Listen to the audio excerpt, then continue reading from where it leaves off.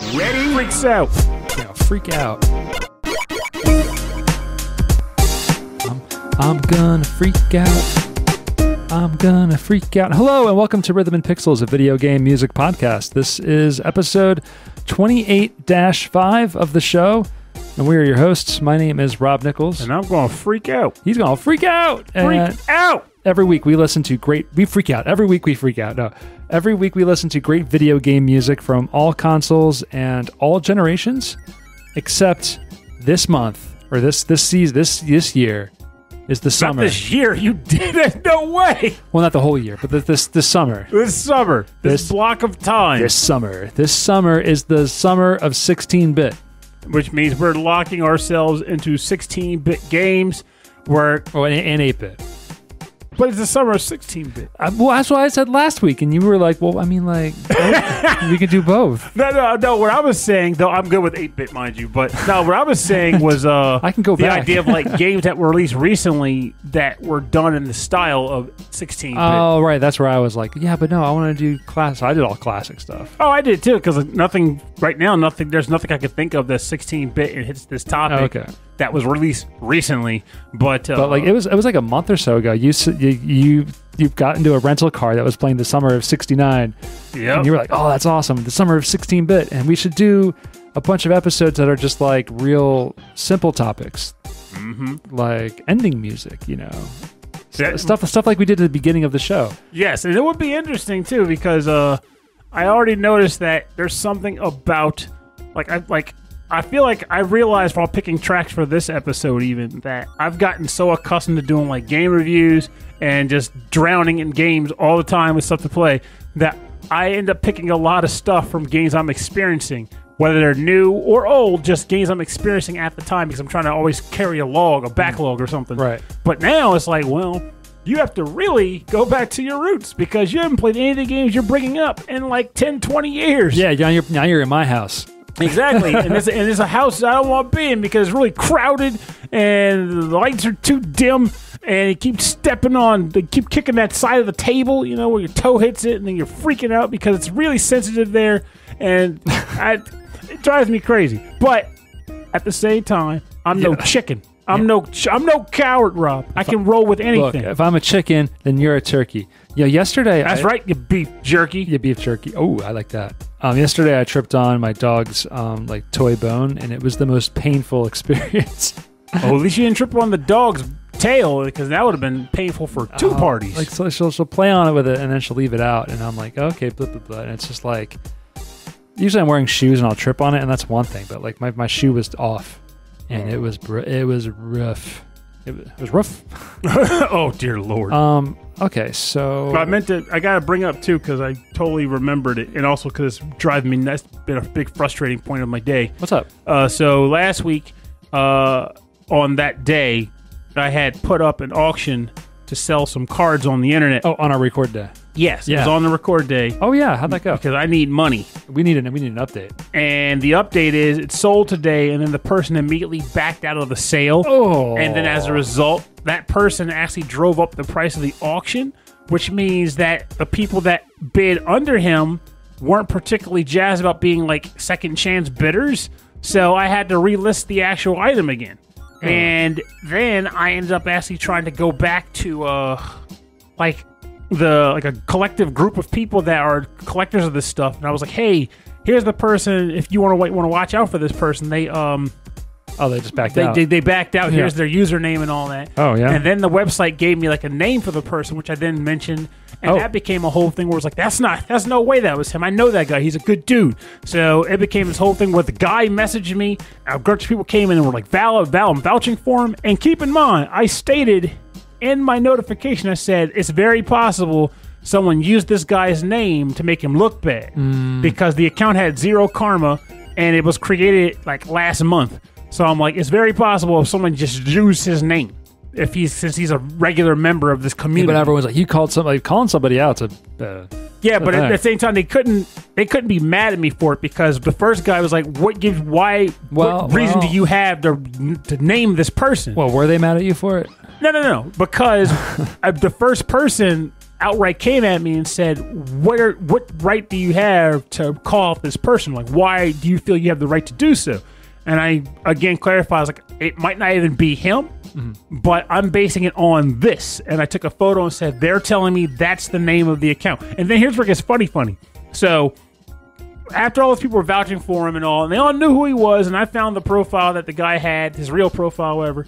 Turns out it's not even his real name because it's a pseudonym of a name. And I'm like digging, I'm like, I didn't even know that was a fake name. The guy was like, Yeah, it's based off of like a character from like Office Space. And I'm like, But I never knew that character's full name, so how would I know? and then like it became this whole thing where I learned that a lot of people on auction sites and just in general, like I already knew about like people on like Facebook don't use their real names half the time. But like on those things, But like on those things, they don't. And I'm like, is it the world we live where you can't use your real name anywhere? Like, who the heck is the? Where's your cred? Where's your credibility if you don't even have a real name listed anywhere? I, I kind of get it, but I also like at some point, like in the last three or four years, I just gave up and just used my real name everywhere. Like my Twitter handle is my real name, my website is my real name, my, I- even my Discord handle is my real name. And most of the time, like I'm that Which way is too. probably like- a bad idea, but I don't know. Nothing's happened yet. But I, I'm I'm an old white. and in my like, case, I've got little yeah. death threats, and I still do it. Yeah, it's, I'm like, uh, I know I'm, I, like, I know I have the privilege of that, but also like, I just, I, I couldn't keep up with like, where am I named here and where am I named here, and then also this name is like not the most professional sounding thing in the world. Then why would I use this non-professional sounding thing in my 40s? You It know? became complicated. it became complicated. It became comp. I don't even remember what handle I used back in like high school. Like, what did I even use? Robozord or something. Baz Boy or something crazy like that. I can't remember. Rocket Pop. We had we had we in IRC we had some names and now I can't say them on the show. Yeah, but I'm sure anybody that's listening probably knows them all because it's the same thing every teenage boy uses on like the internet when they can type for the first time. Like, oh boy, I'm going to be edgy. Check Um, this out. Yeah, yeah, yeah, yeah. But it was like, but these Nice. are but the IRC servers were like just us and like that was it. So it's like they're being edgy, but like just To each other. we were just, we were just being stupid is what we were doing. So it's funny that like our prequel episode, if you're a Patreon member, you get a prequel episode. We actually talk about video games, and then on the actual show, we talk about like eBay and garbage pail kids cards. Well, in this case, I feel like since you mentioned it on the regular episode last week, I was like, I feel like it may as well be mentioned on Yeah. the regular episode this Absolutely. week too. It Um, just yeah. needs to be done. But I relisted it. I hope it sells this time I hope so too. because I want that green. You get I, the- I got. I gotta. I gotta make investments, Rob. I got. I got dollar dollar Get bills. that y'all. bread. You got anything else you're trying to get rid of? I'm still trying to sort that out because, Yeah, like, you're- for we, can use, example, we can use the show to get the word out. well, for example, one thing that came out. Whoa, that's weird. I got an email saying it's the summer of Pernell. That's very freaky considering we're doing like a summer episode right now. You're like, it's not the summer of That's It's the summer of 16 bit. Um, you get it right. All right, so the summer of 16-bit starts with platformers, as it should, right? That's right, because 16 bit platformers were like kind of the thing. I feel like if you were to lay down a table of games released based on broken down by genre, Yeah. I think platformers would eclipse all the others. Probably the most accessible. Everyone can pick one up and be like, this button jumps, this button does something else. Also, it was the easiest to slap a mascot on, which was another big thing. People had mascot mania back then. Anthropomorphic talking animals was a big thing. Is that your first one? Mm, no, actually, believe it or not, none of mine have anthropomorphic talking animals. Disappointed. That, but actually, that's more of a challenge. Think about that. How hard that had to be to do.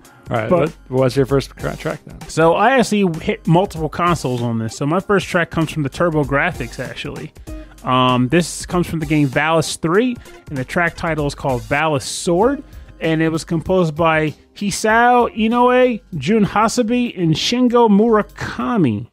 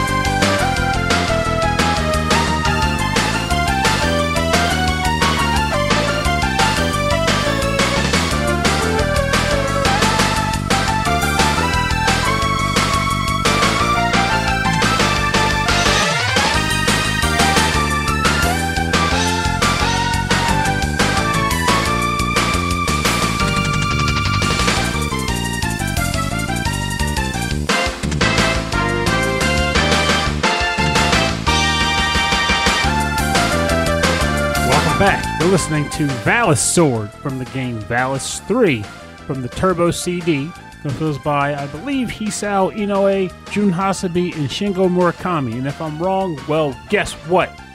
Okay. Um, so this game, technically, Rob thought it was sort of cheating because it was like Sega C, it was Turbo CD, Red Book Audio. I'm like, well, I gotta slip that in there somewhere. Yeah, it but counts. I got 8 bit stuff going on today, so that's all right. oh, yeah, yep. So, but technically, the game itself is a 16-bit game um, because it was also released on the Sega Genesis. So, the OST is different, but the game is the same. So, I am a huge fan of the Valis. Oh, I don't want to say huge fan because, I mean, the games themselves were fairly straightforward. They were basically like action platformers. They're just platformers, but for the style, they were nice because they kind of carry like an overarching story as you played through. So after you beat a level, characters would have conversations. Sometimes you come across characters at the end of the level that would give you dialogue if you talk to them. Um, because they were originally based off of like, well, unfortunately or fortunately, depending on how you look at it, they were originally spawned off of eroges and then became like actual platformers. Interesting how that, like, how it went from one place to another. It really did. Like it's, and in fact, I think that the last game was like that, which is why we never, no one ever talks about it because they went back to the other style. right, Like, and we're we- saying more like adult game. Yeah, yeah, yeah. yeah, That's yeah. what they, story they, they, driven. Yeah. It's surprising how many games have had that history if you hmm. look back on them. But Valis is actually getting recently talked about too because the original holders of the license have recently crowdfunded the attempt to put Valis 1, 2, and 3 on the Nintendo Switch. So will be this will be the first time Valis has seen a release since like the mid 90s or hmm. early 90s even. So Oh wow! that would be nice. I to guess- see them get a return to the light. I'm thinking about its history, and it's making me think about the the TurboGrafx or the PC engines and NEC hardware. Mm-hmm. I mean, it's Hudson Soft, but it's Hudson Soft and NEC. And NEC created the PC88 and the PC98, mm-hmm. and then the PC Engine. So maybe like the developers of like all of those, you know, uh, uh, kind of shady adult games on the PC98 moved over into the PC Engine territory. It's possible. I mean, I feel like I recall something about them getting like the, the ownership of this property dancing around a bit too, which might factor. into- I know it's Telenet, but there was a company before Telenet that owned the rights to Valis. It's been a while since I looked into this. In fact, I was surprised. I was like listening to the music. I was like, I remember this track. It plays while you're on a boat, and I had to go back and look. I looked for like a long play because I'm not going to boot the game up again anytime, so I'm too busy. But I went and looked up a long play, and I was like, let me get to the boat stage. And I did, there it is. There's the boat. And I'm like watching. I was like, I remember all of this. And the next stage was the climbing the tower. And sure Oh. enough, the next stage was climbing the tower. I, I really like this track. It's it re, it's just a it's such a high tempo, like it's high energy. When I looked up the song, I found an arranged version by a mistake, and I think we're gonna end the show with that because it's really good. It's really smooth. And the funny thing about this too is And that you were like, "This ain't the song." I'm like, "Are you sure, Pernell?" this is I not it. really like this. Is, I'm still thinking it might have been the Genesis version of the track, but when we listen to it again, we'll find out. But like, the one I played before? yeah, it sounded like it might have been the Genesis. No, no, it was no, it was. I looked it up. It was totally arranged. It was an arrangement album. Yeah, yeah, yeah, yeah. All those, all those um, er- er- erotic video game fans But one thing that's interesting formed a about jazz band and a jazz fusion band and made. Well, let's let's make some music. But like the last thing I'll mention about this, I think is interesting, is that as you get older, I guess you, people like to say like your taste in music changes and shifts around, which is I think is honestly true in ways. Um, but it's funny that it transferred to this because when I went in looking, I had the track in mind that I wanted to play for the show because it was my favorite track back when I used to play the game proper. But then I was listening to the whole OST and I was like, wait a minute, like this one more. I didn't like it more back then, so why do I like it more now? So it was a very odd thing to reconcile. I was like, my taste in music has shifted away from that track to this track. Yeah. Why? You still like tracks from the game though. Well, I still like all the tracks. It's just my favorite is no longer the other one anymore. around, it's yeah. this one.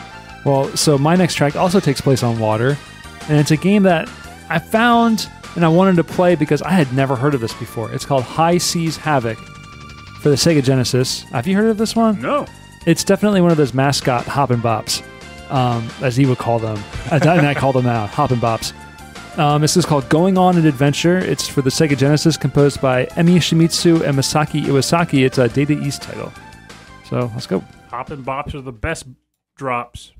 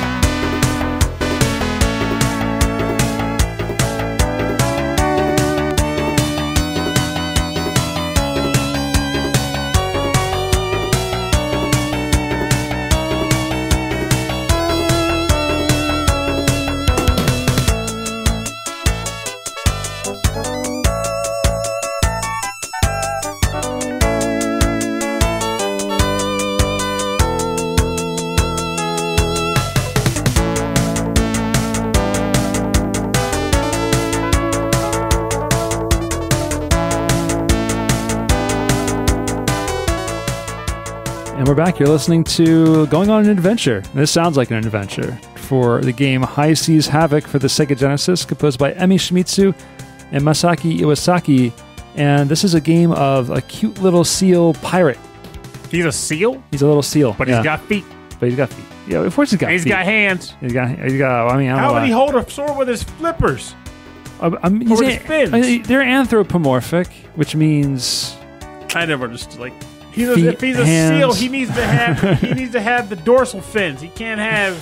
well, I guess they're flippers. Are they flippers or fins? so. If this were like what you're thinking, this would be less of a hop and bop and more of a slip and slide.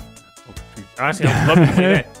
I'm surprised. Well, I guess if that game, if a game did that, it'd be too easy. If you Yeah, just yeah. slid into enemies instead of actually having to bop them, because bopping takes precision. Sliding, it's like, Yeah. hot stuff coming through, and slamming through everybody.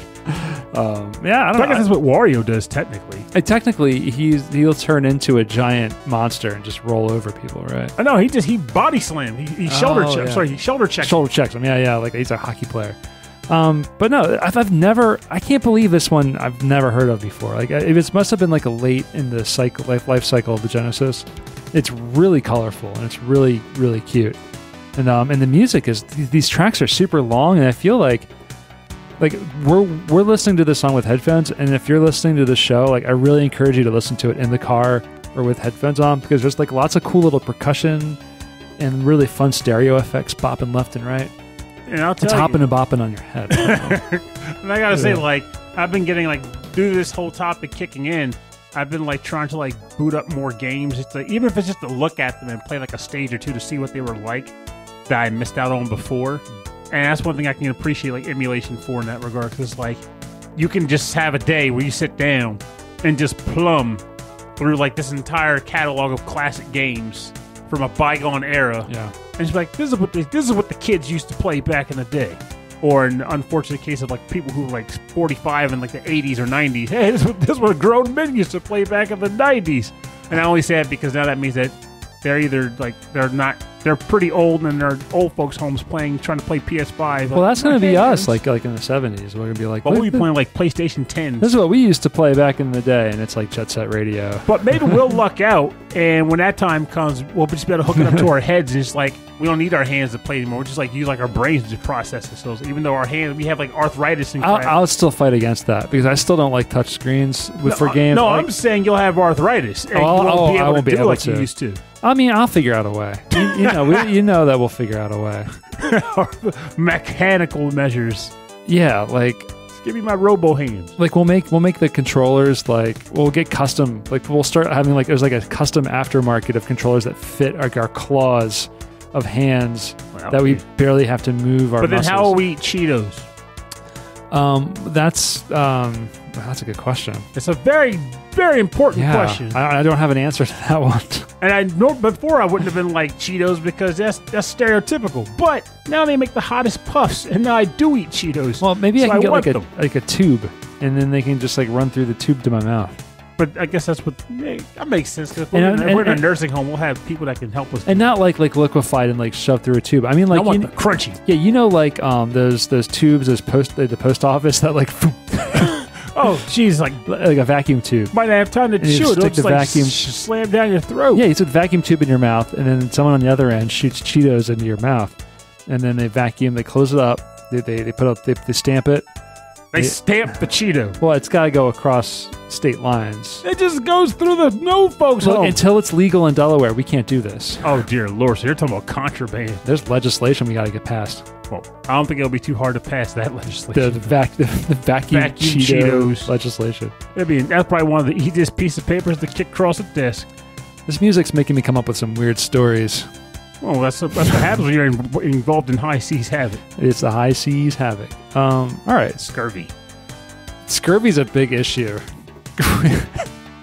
High seas havoc and scurvy. all right, what's your next track? And just for the record, we still have to do that Pirates versus Ninjas pairing of episodes. Oh, I thought we had done that for some reason. Never did it. We should get, for some reason I feel like Alex needs to be on that. Is he a big proponent of pirates and or ninjas? I don't know.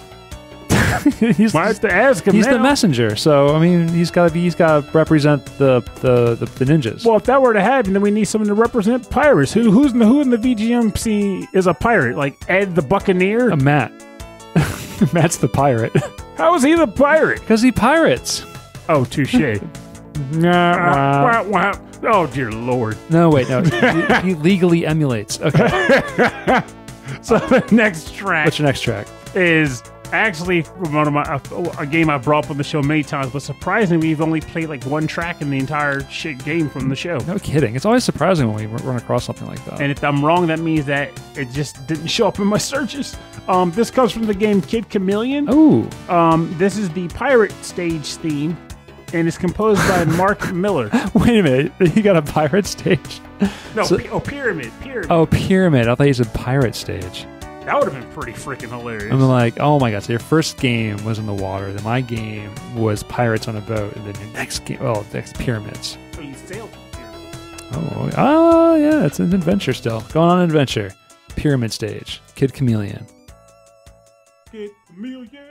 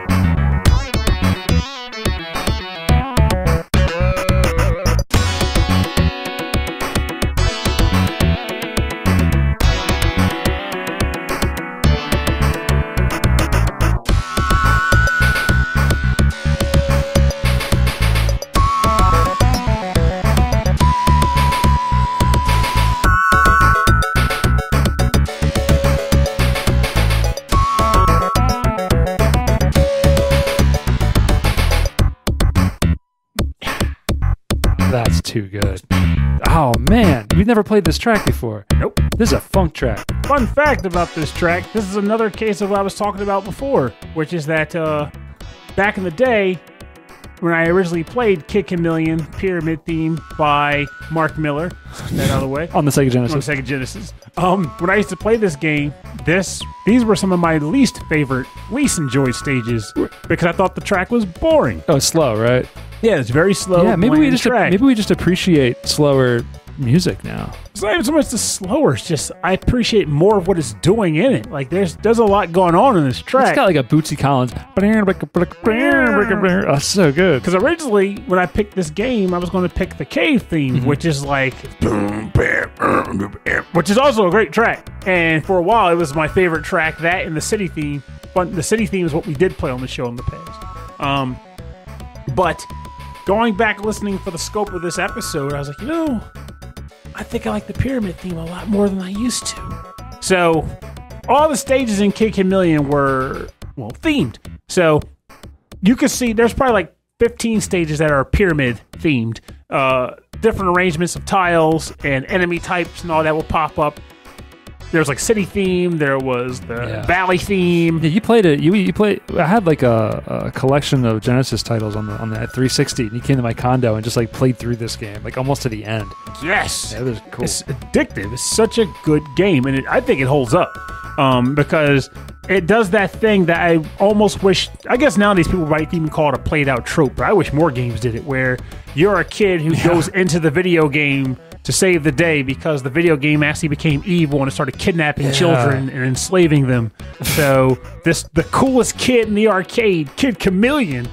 I think it's funny that he even has that name because the powers he has only exist in the game. But I Right, right. digress. But he, he can like take take the the powers of the other like enemies and stuff, right? well, like there's special helmets, yeah. and if he picks up the helmet, he becomes what the helmet represents. I guess that's where the chameleon rolls in. But uh, it was a cool concept for a game. It was very intriguing, and it had a lot of stages. They claimed it had hundred. I don't think it actually did because there's actually people who have mapped out every stage Wait, and the trajectory you can take to get through the game. It's a maze. That game is is massive. Yeah, there's warps that'll take you backwards. I know. When you told me that, I was like, oh, that would drive me crazy because mm-hmm. some of these levels are difficult. Um, remember, like how back in the '90s we thought virtual reality was going to be like everything, like you're inside the world, you know? And now the closest we've gotten many years later is keep talking or everybody explodes. Yeah. Well, I mean, like we've gotten pretty close. There's some like like the Beat Saber and stuff. Like there's some interesting things, but like when they were talking about this stuff in the '90s, and you put like a headset on, and it's like, oh my god, there's five triangles floating around in these like in these these computer screens that are super close to my face. Uh, But no, and the, but the thing is, like in those movies, it went well beyond it. Like they put the helmet on. Oh, in the movies. and they would Oh, do yeah, that movies, thing yeah. where they would like they would look at their hands, and their hands now were like flippers or fins. Or Yeah. I'm going to go back to that. And uh, they were like flippers or fins. Like, wow, now I have fins, and the world is like down there underwater, Mm-hmm. and they act like they're actually underwater. They act like they can feel, and they're truly involved in the place they're in. And that ever happened. That would be an amazing VR game or VR experience if they were to make that now. Like, an, like if they made it now to be like a '90s one, where it was like just goofy enough to be like, oh my god. It's like you put your helmet on and suddenly it's like, oh my god, thank God you're here. The computer is in trouble. You have to stop them. I would play the living daylights out of that. have you seen? Um, there, there- Jeez. there, there's there's there's like gifs around of um, Angela Lansbury with a VR headset, but there's a From there- Murder She Wrote. yeah, from murder she wrote episode where she like solves her murder in VR. And it's worth it just to have her with a VR helmet and like these these like essentially two power gloves on her hands. Like She's like manipulating. I gotta save him before he gets killed in the VR world. it's pretty amazing. If Um, he dies in the game, he dies for real. shout outs to Angela Lansbury. And our next track is going to be. Uh, so I'm going back to 8 bit because I thought for some reason that's what we were doing. But don't worry, next week. next week I know better. All right, so but we're going to do this anyway. If we do 8 bit, we'll actually refer to this second half of summer, 16 bit, It'll be summer. it'll be the autumn of 8 bit. oh, there we go. Yeah. Uh, but the summer of 16 bit, um, going a little bit back. This is for the NES. This is the Kickmaster because I like the name Kickmaster. The old rule of the Max Schooler. Yeah. Um, sec- sector, that. Sector 7, a long way from home. The Kickmaster, Kick Faster for the NES. Nobuyuki, That name. yeah, Iyazuki. Sorry, Nobu Yuki Iyazuka and Yusuke Takahama. Um, and this is just a fun soundtrack.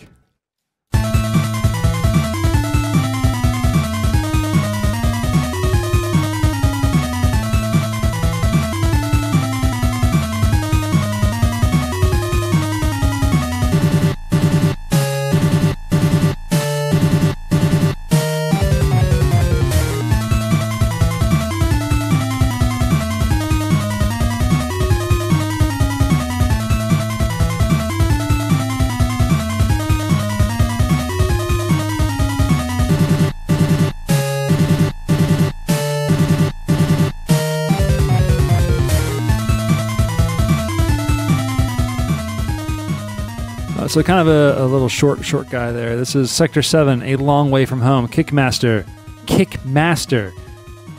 As he's nothing else. Not punches, not jumps, not magic. Not the roundhouse kickmaster. He he's all kicks All kicks. Just, just the boot. He's just, he's just all boots. all the time. All what- Collins. This is on the NES, the Nintendo Entertainment System, uh, composed by Nobuyuki Iyazuki, Iyazuki, I want to say Iyazuki, Iwazaka, and Yasuke Takahama. For some reason, I just took it back to Bootsy Collins again. You know, that's true. We got a thread here. So the Bootsy Collins and Kid Chameleon, and this guy is um, Bootsy Master. the kickmaster, but he wears boots yeah, the Kickmaster with the bootsies, with the booties. like Uh, Collins. I think he's like, I think he is like a wizard, but like his his his magic comes from his kicks. Kick magic. Yeah, kick magic. That would be really tough to pull off when you think about like I can kick, I can send um wind, uh, wave blades of wind out, but only when I throw a kick. It's like okay, so if you need to do a rapid stream of wind blades, you have to just kick that fast. Yeah. I can tell you right now, I've been doing like low kick, high kick streams on the side. Those are really hard to do in quick succession. You can't say that right now. You can't do a Chun Li uh, lightning kick. no one can do a Chun Li. Like actually, I forget there was that one woman who actually did do what is likely the closest to a human pulling that off. Where she like kind of like made, she had one foot on the ground and she would just kind of keep she would spin it left to right to move herself forward. And then her other foot was just constantly kicking like uh. forward in three angles. And it was like, how in the like admittedly, if she did that to somebody, I don't think it would hurt them much because she's working so hard to stay balanced and all that she's probably not putting a ton of force into those kicks. Yeah. And one of those landing on a person would likely throw her off balance. Yeah, someone just sweep sweep the other leg. Or not even the sweep. I mean, literally, if she kicked and connected one of those kicks, her balance would get thrown off and just des- ruin the entire kick.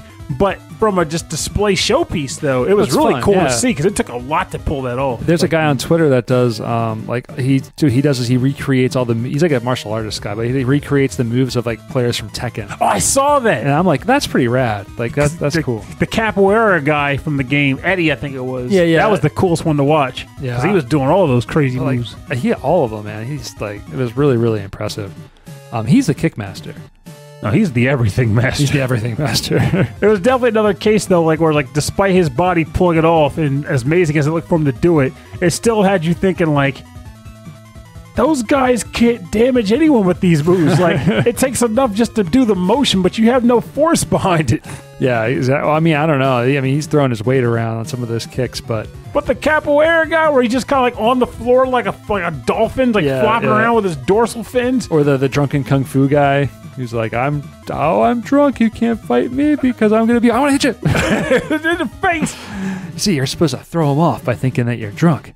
But the When the truth reality is, you're is- just really Is drunk. that you're drunk. There was um was it uh, Legend of Drunken Master 2, which Jackie Chan was really good because they actually got into how he was only an effective fighter when he was drunk. And then at the end towards the end of the movie, like he didn't want to anymore because he was just an alcoholic.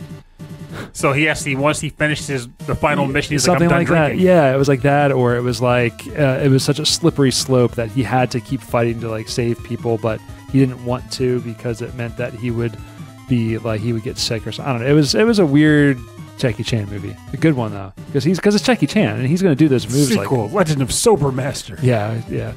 He fights with AA chips. Oh god. All right, so we're on your last track, right? Mm-hmm. All right, so what what, what kind of kickmaster are we going to see this time? Actually, no kicks involved here, but a very slow businessman. This is a game I've actually um Slow businessman. I've heard of this game quite a bit here and there, and I read up on it. I watched Slow videos of it, people talking about it, What is this? and uh, I got reminded of it on the actual Discord recently, which got me thinking about it. And I was like, I got to pick from this game. Got to pick from this game. so here we are. On Discord too. I mean, I look at that every once in a while. Well, I guess he's not so much a businessman as an employee. Employee. That being George Jetson. Oh, that's right. Guy gets no respect. Yeah, you get. You may as well have been voiced by Rodney Dangerfield. Uh, I'm telling you. this game, this is called, this is from the game Jets, The Jetsons, Invasion of the Planet Pirates. This is the theme for the Spacely Space Sprocket Stage 1. And it's composed by Hideki Takahagi, or Ta- yeah, Takahagi, and Mitsuhito Tanaka.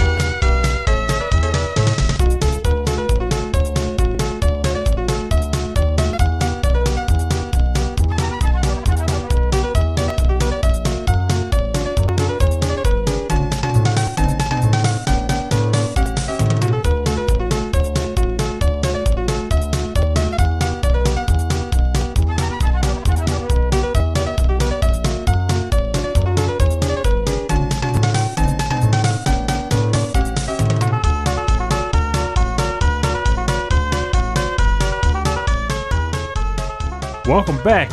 you are most likely bopping into the living daylights of your head there, um, bopping to the track Spacely Space Sprockets, stage one from the game Jetsons Invasion of the Planet Pirates on the Super Nintendo, composed by Hideki Takahagi and Mitsuhito Tanaka. So, again, like this is a game, I don't even remember how it came across, came to my attention like maybe a couple months ago or a year or two ago. Actually, it would have had to have been at least two years ago because when I looked at it originally, I was still coming here, so pre-COVID. Um, but it just see, it was one of those games that I never heard of until I came across it in discussion. So it kind of stuck to me, and then we were talking in the Discord group about the idea of like I don't remember how I came up, but it was a discussion of like Oh. the Jetsons and the Flintstones. Yeah, I, I came in at the end of that the discussion where you guys were talking about the Jetsons and the Flintstones and how they have the crossover, and then I was like, oh yeah, that's right. He was always getting fired, and I was like, you're fired. Oh, he only got he didn't get fired to me. Something he was he was threatened to be fired so many no, it times. was a Jetson. You're fired, but he would always like get rehired like in the same scene. Like yeah, they were just abusing George Jetson. Like that's bad. Yes, and then the funniest thing is like the plot of this game, for the most part, in the scope of the Jetsons universe, almost makes sense because they had him in a number of like outlandish scenarios. There was an episode I'll never forget where Spacely had an invention in his lab to shrink cogs to reduce cost in shipping, Okay. and it accidentally hit George with the beam, so George was shrunk down to like a minuscule person size. So the boss, you know, at this point, vi- liable for all sorts of like violations, still is like, well, mm, until we can get you back to size, how about you go and spy on Cogswell Cogs for me? so he ends up going on this whole espionage mission where he's like micro George Jetson. He goes home with his family as micro George Jetson, and he goes on the espionage mission as micro George Jetson. Like nothing's gone wrong. Nothing's weird about this at all in the world of the Jetsons. You know, his pay hasn't increased. He he goes on this dangerous mission. In fact, if anything, it's gotten smaller. Got no- oh, shrunk his pay. Uh, but like he never got a pay raise. He never got promoted. I mean, that's true. We never we never got to see that on camera, but It- I mean, all we ever saw in the opening was him like losing all his money paying out to his family. so he worked for Spacely Sprockets. Yeah, Spacey Space Rock. So and they made sprockets. Well, I'm, I'm assuming are like little oh, and then Little co- gears. little gears, and cogs were also little gears, right? Yeah, which so was Cogswell Cogs. So they were. So this came out. Was this was it the 60s or 70s? the show? Yeah. I think it was the early 70s Early 70s. So they believed that the future was all machines, Mm-hmm. with that- flying cars. and that what you need are lots of tiny little gears to make it all work. I don't think they were tiny gears in that world. It was just that episode he wanted to shrink the gears. No, but I mean like cogs. Well, cogs. That's what they made. Sprockets. That's what they made. So it was, it's funny to me that like, that's what the future they envisioned. That's what it would take to do it. But like nowadays, we know that like it, Cogswell Cogs is just IBM, and, and what he's really building or selling is just capacitors. When is the last time you saw a gear? Right. Like an actual gear. Like I don't think the gear shifted a car has gears in it. Maybe- well, I mean, real small ones. Um, maybe I don't know anything about cars. Me neither, but Some I watches bet, I bet Electric Boogaloo does. Swiss Swiss this is Swiss, cue. Swiss watches will do it, but nowadays people are wear like like either those, those Apple watches. Apple watches, yeah, or Fitbits. Like the we, have gone we've gone back to digital. When is the last time someone saw a gear or a cog? I got really into trying to find like classic digital watches Mhm. because I I feel like I would like to wear a watch. I thought that would look nice, but I don't want um, a newer. I don't want like a like a analog watch, and I don't want a newer digital watch. I want to find like a classic digital watch. See, I need to I need to go all the way back. If I'm, gonna, nowadays- if I'm gonna wear a watch for a fashion statement, it's got to have the tick tick Yeah. tick tock. I need the arms. I need that full feeling. I actually still Oh, no. own a watch for that exact purpose. So this is the one I found. It was at an estate sale. Um, it's a Seiko, and it's it's You uh, might want to be careful. That yeah. really might cut you. but I just, I gotta figure out a way to change the battery on it. But I love this thing. It just looks so cool. Oh, it looks. Oh, it does look like nice and retro style. Yeah. Pulse. Touch. It has a touch sensor. Yeah, all these things have like these extra little things. So this one, you put your thumb on it and it reads your pulse. Some of them actually, you could take it and stick it on a, a little mini computer, and you can type notes into it and then save the notes to your watch. That's like pretty cool. How 80s is that? Like that's so cool. People probably paid like three hundred bucks for that watch back in the day. Yeah. You got it for a song. But uh, but yeah, that's what I meant. to- I don't. I, I, I understand the the appeal of having the iPhone information on your wrist, but I don't think I want to like. I only want it temporarily, just so I can feel like Inspector Gadget, like I always dreamed. Yes. Because that's the one cartoon future thing that actually came to pass. That's oh. Inspector Gadget would talking to his watch. Well, no, well, and Penny had the computer book, and we have iPads, Yep. so that, that worked out. So Inspector Gadget actually came true, except for the man walking around with like gadgets in his body. yeah, well, we're getting close though. I mean, that's something I am working on. I mean, Get it done, man. I want a boxing glove to come out of my hat next week. The, the, the, with like the big um uh the extendable arm with the boxing Yes, glove on it. I would love that. That would be so convenient, You'd and it would just get tangled up in everything. Cause I'm already tall You'd be enough. So dangerous. No one will. No one will insure you. it's fine by me. Save me some. I'll insure myself with my extendo arm. All right, we're rolling into our my last track. Uh, back to the 8-bit territory. This is one of my favorite games, and one of the one of the coolest games on the NES is Metal Storm. This is Stage Four, composed by Toru Watanabe.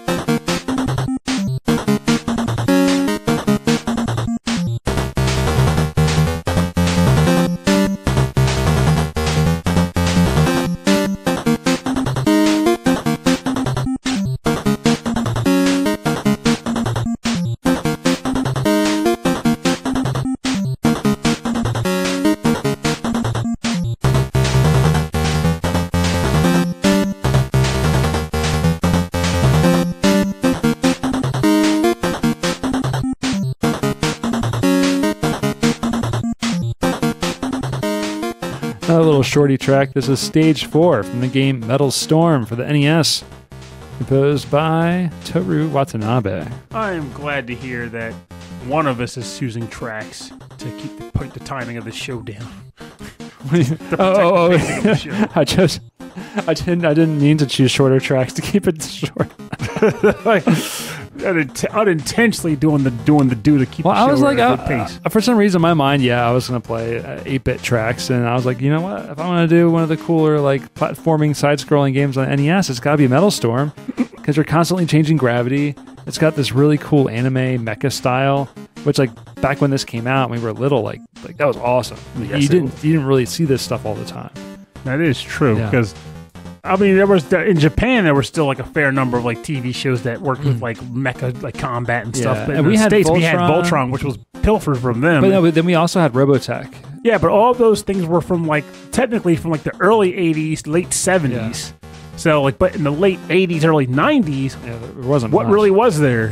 I can't think of too much. Yeah, yeah. They, they finally made a comeback later on, but like I was really into the Robotech stuff. So, like seeing this again when I was younger, I was like, "Oh, this is cool." And I think it, didn't they? I think it's got like on a cover of like a Nintendo Power at some point. It wasn't. It wasn't the power cover. Yeah, so it's like, I don't know, it's just one of those like really slick looking games. It's not long. Would it's just Bionic Six count as mecha? I mean, technically, they were people wearing um, you know biosuits that had things augmented to them. Bionic Six. Yeah, Bion. Ooh, ooh. It was a family, and they all had suits, and the suits had stuff. Or maybe I'm thinking about Centurions as far as like the stuff binding to them. Okay, I've never heard of Bionic Six before. This looks. Bionic, Bionic Six. Oh, okay, Oh, so, what's happening there in that So I picture? Bionic Six, but I was wrong about what I'm thinking about. I'm thinking about Centurions. Yes, the Centurions. I would not say they're mecha. I would say that they are.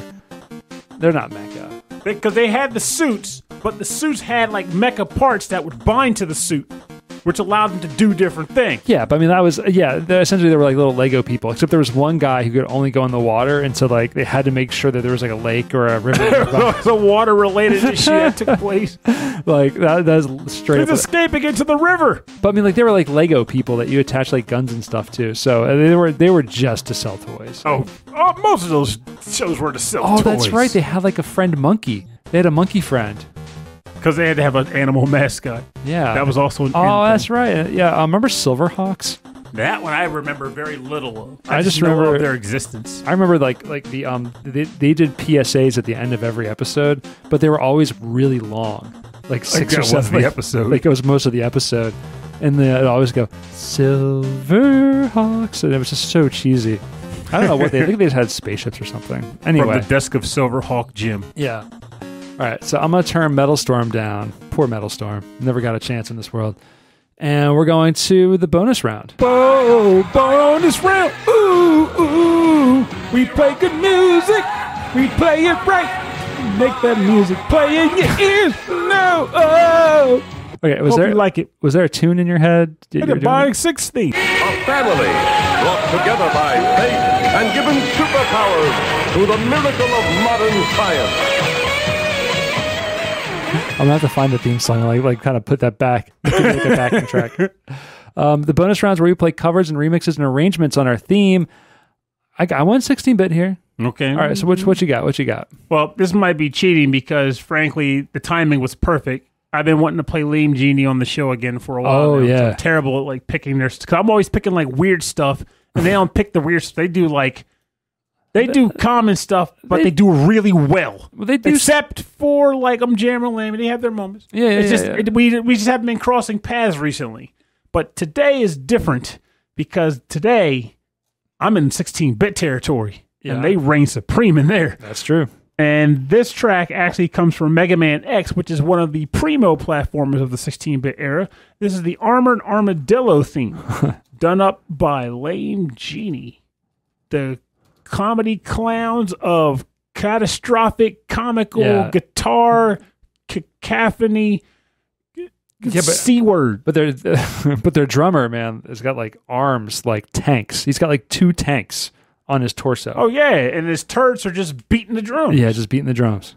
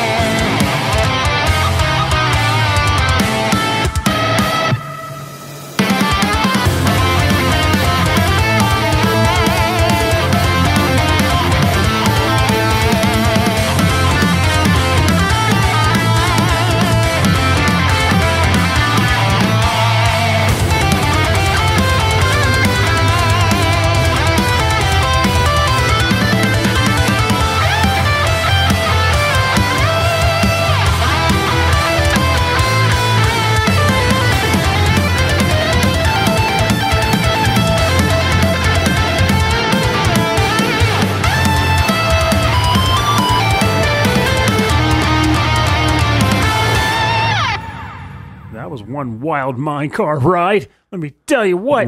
Anyway, this was the Armored Armadillo theme from Lame Genie. Originally, it existed within the game Mega Man X, but then they put their Lame Genie spin on top of it. Hmm. And suffice to say, they did a ridiculously good job. We were talking about on the off pit where the Armored Armadillo theme is actually fairly short, but I like when bands take otherwise short loops and extend them out by adding various layers to Yeah. it. They have like measures like, okay, this part we, we're going to put more emphasis on the bass guitar. This is the part where we go like in the corner like a power ballad. Or they do my favorite thing where let's break it down and to go halftime, but then like get really heavy with the drums and then then suddenly bring it back real fast again. See, I love that. use words like halftime. You know what you're talking Halftime, about. I'm yeah. making up words like I'm at, I'm at this point where like this sounds crunchy. You know, instead of the snare on the one on the on the two and the four. See, I'm, I don't know about that. I- I'm like, it's, it's at one part where he hits the drum hard, and then he hits the drum a little bit harder, and it's like, wow, oomph. you know what I'm talking about. You know. I know it sounds awesome Yeah. and technical. It's good. It's they they are technically good. Like they they like I don't know. It's just something about like maybe it's the way it's mixed or just the how good they are with their instruments, but it's technically like spot on every time. Yes, it I is. love I that love the fact that they they have a they have the ability because I think that's one of their Patreon things where someone will just say, "Do this track," Yeah, if you and they'll just money, like collectively get together in like a week, just like, "Here you go." Yeah. I think that that's great. That's a great way for them to maybe make a little extra cra- uh, scratch too. Oh yeah, I want to say crack. Make a little extra crack. Jesus crap! I, it's no, it's, it's, it's, because we're getting late. it's getting late. Uh, but no, they're having the crack. It's uh, Irish. They're having fun. Uh, Okay, so my next track is the exact opposite of this one. This was Core Blimey. This is Joshua Morse. This is a jazz track. Uh, this was released on the GameChops label just a week ago. I think it was like five or six days ago. This is a, yet another Donkey Kong Country 2 Aquatic Ambience uh, uh, cover. Is that what it's actually called? Yet another Donkey Kong Country 2 Aquatic Ambience remix slash cover. No, this one is Exploring the Coral Capers, which Oh, is should- aquatic ambience, which I mean has been done a lot. They But totally should have called it yet another Aquatic Ambience.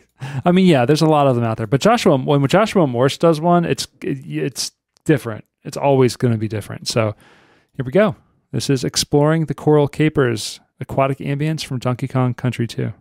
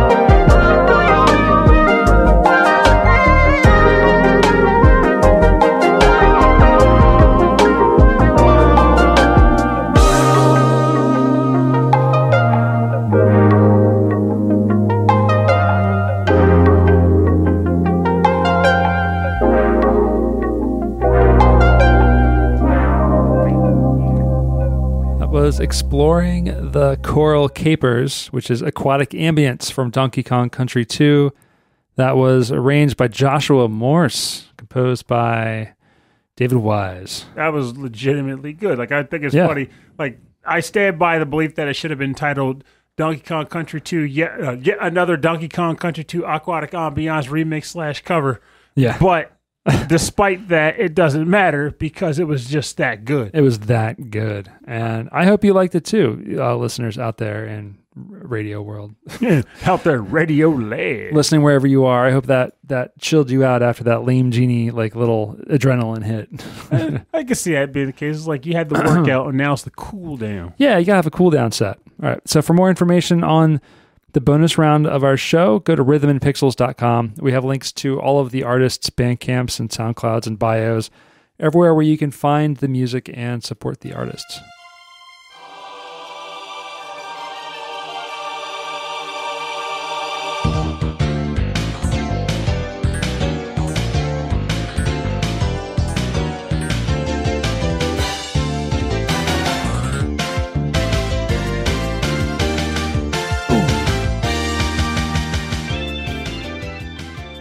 All right, thanks for joining us on episode 28 5 of Rhythm and Pixels. This is our summer of 16 bit kickoff on platformers. That's right. Kick off, the, ma- the kick, kick master off.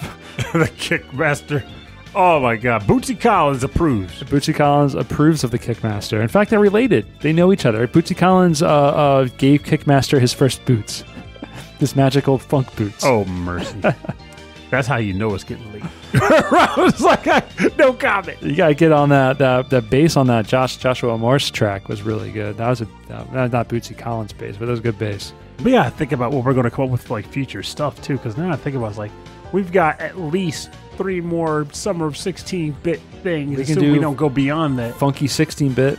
That would be really hard. That's that's like hyper narrow. hyper narrow. It is a bit narrow, but man, that one track you picked from Kid Chameleon. Oh yeah, but that would have been the track I'd have picked from Funky Tracks. so I'm already true. I'm already exhausted my options. Well, if you've got um, an idea for a topic, let us know on our email, and we'll have a day to figure it out. So send us an email. so send us an email. Rhythmandpixels at hotmail.com. Um, and if you want more information about our show, a full track listing from all of our episodes, and access to all of the other stuff that we're doing, go to the website. Rhythmandpixels.com. You can find us on Instagram and Twitter and Facebook, all those places as Rhythm and Pixels. And you can also find us on YouTube, uh, youtube.com slash rhythm and pixels. Uh, we also have there is running as a 24-7, 8-bit and 16-bit, 16-bit Oh. uh, classic and deep cuts radio station. Did you know that, Pernell? I did, but then promptly forgot. But now I remember again. It's actually running in the closet right next to you right now. it hasn't burned out yet. Big as a- That's an amazing go get 'em laptop. Yeah, it's it's it's putting in the work. It's I, I, it's doing a lot of what I've asked it to do. In fact, it's it's had a long life before before I asked it to do this. And it's still going. Maybe in a sense, maybe it's like this is an easy job because it's, it just it's gotten used to what it's supposed to do. It doesn't have to change the routine. Right? Yeah, it knows when it's it knows when it's going to clock out for lunch. It's know when it knows when it's going to come back. It's Yeah. Knows rather game than the like- system. okay. This day we're playing Netflix, or and this day you got we're doing our taxes. I'm like, oh man, it's too much work. It gets And before it came to us, it was my father-in-law's, and he he was working on that thing too. So That's probably where he got his work ethic from. Yeah, exactly. exactly. Um, so also, if you want to support this show, uh, you can go to rhythmandpixels.com slash merch, and we have some awesome t-shirts related to the show, related to video game music, related to the uh, the company's sound teams, like Falcom, right? Mm-hmm. Like uh, the Konami Kukeiha Club, Right. right? Like Zuntata, the Taito, Right. Taito Club, right? Um, what, was, the other one? Right. Yeah, right. You can also go to patreon.com slash rhythm and pixels. And as a member there, Right. you get it's like you're like I sound like a frog now. as a member there, you get access to a weekly uh, prequel episode of me and Pernell just chatting. Um, this week I'm probably going to do some editing and move things some things around, but um, we have a weekly chat. And then we also get access to a monthly live streamed episode where we record the show in front of you as a live audience. It gets released as a normal episode, So you're still going to hear it. But as being a member, you get to hang out with us and get all the stupid visual gags. You can chat with us while the show's going on. And the And- conversations sometimes end up being pretty interesting in those dialogues too. And it's something to like hear our voice, but like our sexy, sexy, manly voices. But then to actually see us, it's something else. It's a sight. I think it's funny. I was about to say it'd be Yeah. cool. I, said, I just like seeing everybody chat, but at the same time, since it's a whole Patreon thing, it feels weird. Like, how do you sell this on somebody? Well, it'd be cool to see you chatting in the group. like that's the how you sell. Thing. Well, 30 minutes into the show, we may take our shirts off. Or 40 minutes into the show, I'm trying to sell them on the we idea, do the Rob. ice bucket challenge. Nah, They- that's they- more they like- just, they just don't. Yeah, exactly. Yeah, there you go. So wet T-shirts. No, no, what ice bucket? Stick with stick with the challenges. Um, hot hot sauces and stuff. So all members at all uh, all member levels get access to that stuff. At the All high, jokes aside, though, we got to do that at some point. the ice bucket challenge. No, that'd on be too your own. messy for the room. Hot sauces Oh, hot no. on the episode on the live live stream. Yeah, buddy. Okay, well, you know what?